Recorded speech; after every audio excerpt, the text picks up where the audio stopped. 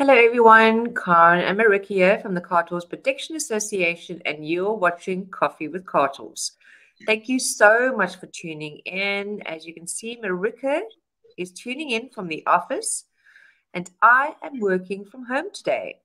And that is my gorgeous Sylvester fast asleep in some donated um, goods that were given to us. So I truly hope that the internet does not give us any issues once again, as we had a bit of a glitch earlier on, and that we are not too fuzzy. And if you hear a dog bark, it clearly is Sylvester fast asleep in the box and not my three.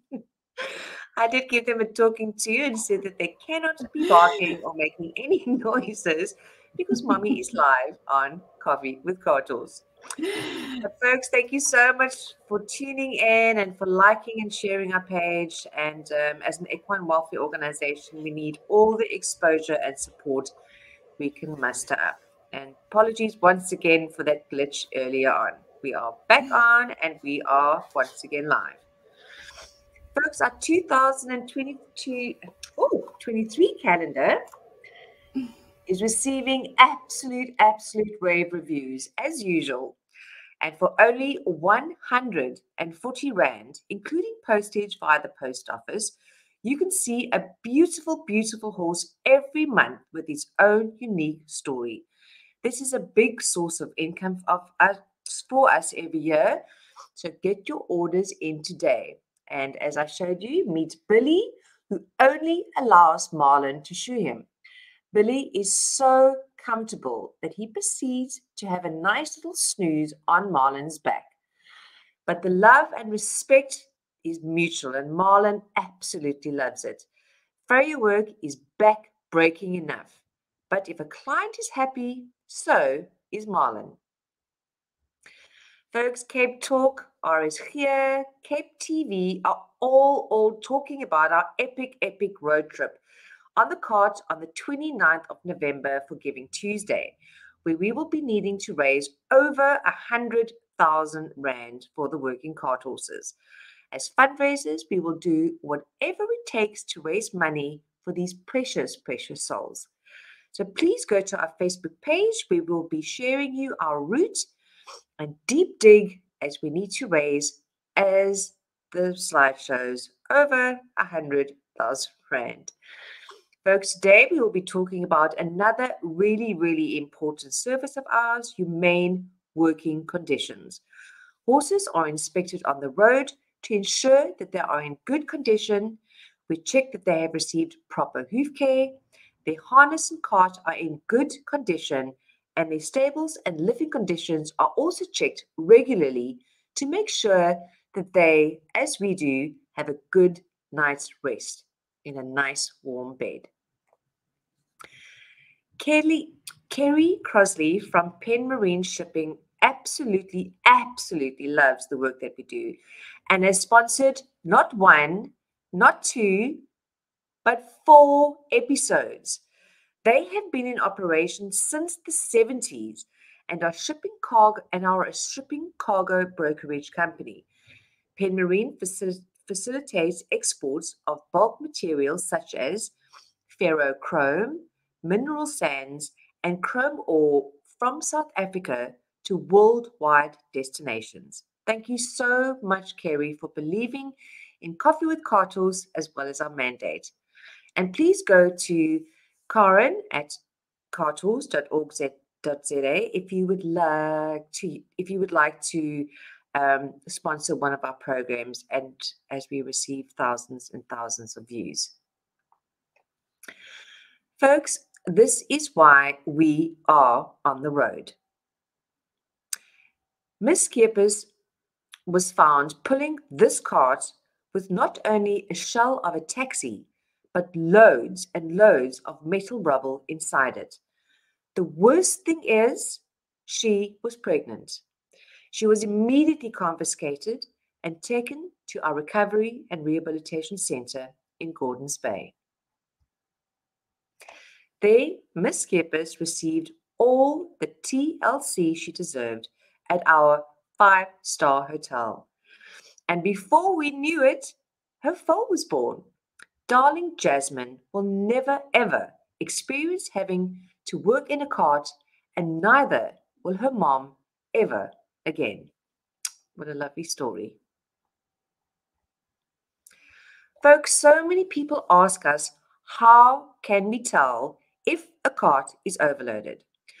Horses that are 13 hands, which is our cart horse average, they can pull a load of about 800 kilos. Yes, 800 kilos. And the cart, which more or less weighs 230 kgs, and two people weighing about 130 kilograms, and the load plus minus 320 kilograms is doable. If the cart pulls true, no broken shafts, the horse is in good condition, and load well balanced, this is acceptable. Please remember, folks, horses and donkeys are worked all over the world. Ours look 20 times better than most countries. We are clearly doing something right thanks to you, our donors, that can keep on educating and monitoring the working cart horses and owners of um, the working cart horses. So please help us keep our inspectors on the road as we patrol about 75 hours a week, if not more. So please don't hesitate to call if you have anything that does not look right. Our number on the screen is 0826 599 599. And please put them in your contacts. We are available 24 7 for any any um, queries that you might have. Perfect Timing was born in a very good family, but they fell on hard times, and Carthorse provided them with much needed feed assistance.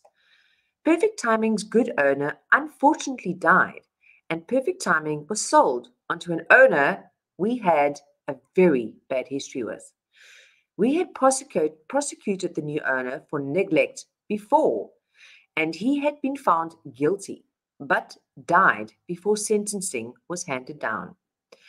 We really hoped that the new head of the family would be able to be educated enough in equine knowledge and, would, and we would assist him wherever we could.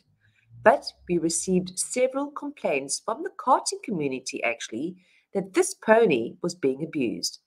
But somehow, somehow they always managed to slip away when they were on the road. When law enforcement contacted Chief Inspector Diana Tritter in 2020 about a horse being abused, she knew exactly who they were talking about, even though perfect timing had the incorrect board on his cart. There was no way she would let this boy go back to his owners. Remember, we need to find them in the act of abuse if no visible signs can be found. In, to everyone's absolute relief and delight, perfect timing was confiscated for good, never ever to be abused in a cart again.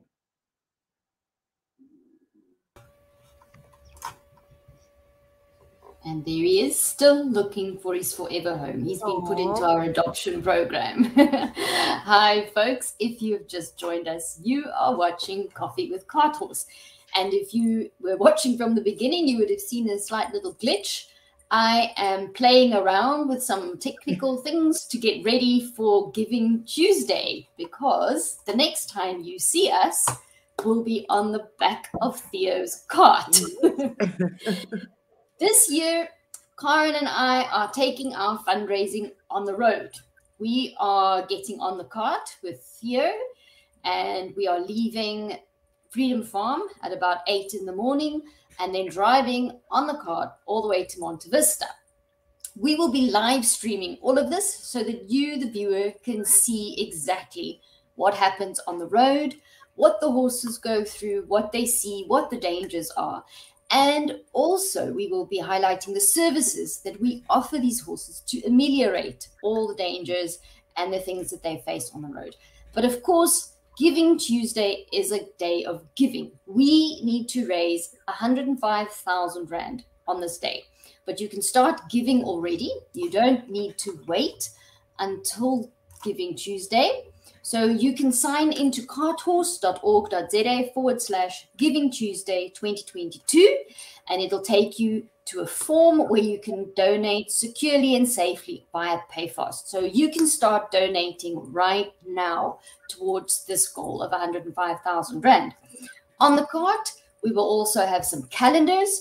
We will let you know where we are. And if you have time, I know it's a Tuesday and some people might be at work, but if you have time or if you're in the area, please pop in, say hello to us, come and meet the horses, meet the drivers, and help us raise our target. We are really looking forward to the day and we are planning to have great fun and take you along for the ride. Rebecca, thanks so much. Yes, we are so, so looking forward to it and um, very, very excited to be on the cards and to experience a day in the life of a cart horse and their owner. Thank you once again, Kerry from Penn Marine, for donating. Um, sorry, for sponsoring this program and um, three more after this. And folks, if you've missed any of our interesting episodes, you can still access them on our Facebook Facebook page and YouTube channel. There is something for everyone to see. And please don't forget to like and share our Facebook page. We need all your friends, family, colleagues, and yes, even your boss to know about the cause that you support. So we will see you again on the 29th of November, where, as Marika said, we'll be live streaming and you can see firsthand the challenges and everything that we and the carties face on a daily basis. So you can see where your donations are going. Thank you, folks. And until then, please be safe and take care. Bye now. Bye bye.